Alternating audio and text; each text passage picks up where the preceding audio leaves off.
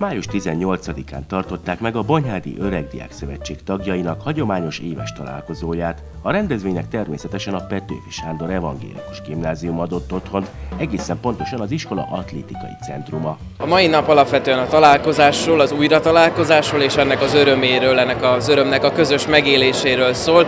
Immár 83. alkalommal, illetve 83. éve kerül megrendezésre a Bonyhádi Öregdiák Szövetség találkozója a Bösznap. Bizony, a Bösznapot 83 évvel ezelőtt tartották meg először, a szövetséget pedig 1936-ban alakították a bonyhádi öregdiákok, a második világháború viharos éveiben a közösséget betiltották, ami több mint 30 éven keresztül érvényben is volt. A fordulat 1981-ben az iskola alapításának 175. évfordulója alkalmából rendezett ünnepségen következett, akkor az egybegyűlt lelkes öregdiákok döntésére újjá szerveződött a Bonyhádi Öregdiák Szövetség. A közösség tagjai számos elismeréssel díjazzák a Bonyhádi Gimnázium egykori tanulóit. Szokás például, hogy név szerint és egy szál virággal köszöntik az érettségük 50, 55 vagy 60. évfordulóját ünneplőket. Az idei évben 85 olyan diákot köszönthettünk, akik 50 éve végezték el tanulmányaikat itt a gimnáziumban. Az iskola kedves gesztusa az is, hogy az 50. éve maturálókat örökös taggá fogadja, emellett pedig a legkiemelkedőbb teljesítménynyújtó egykori tanulókat minden évben külön is díjazzák. Ezek mellett átadtuk az ilyenkor szokásos díjainkat, így a Koricsánszki Otto érdemérmet, amit Hegedűs Éva vehetett át, valamint két Gyalog István érdemérmet adtunk át, egyrészt Olá Anna Máriának, másrészt pedig Tamás Menyhért nemrég Kossuth kitöntetett öregdiákunknak. Ezek mellett természetesen junior ösztöndíjasaink is voltak. Hernes Péter, dr. Hernes Péter, aki a Szegedi Tudományegyetem doktora, ő kapott gyalog junior díjat, ez egy 100 ezer forintos ösztöndíjat jelent.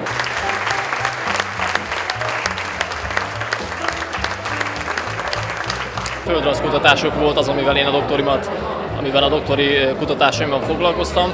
Ez főleg az ilyen geomorfológiai kutatások, tehát felszínfejlődés volt az alapvető vizsgálati kör. Az volt a kutatásoknak a célja, hogy a Kárpát-medencének egy ilyen kulcsfontosságú morfológiai területe, az alsó Tisza vidéknek a felszínfejlődését kutassuk, és annak a régmúltba visszamenő folyamatait tudjuk feltérképezni és ehhez a legmodernebb kormeghatározó módszereket, OSL kormeghatározás, szénizotopos kormeghatározást használtuk föl. Ehhez a Szegedi Egyetem adta igazából a hátteret, a, az infrastruktúrát, a, minden tudományos lehetőséget, úgyhogy ezúton is köszönöm nekik.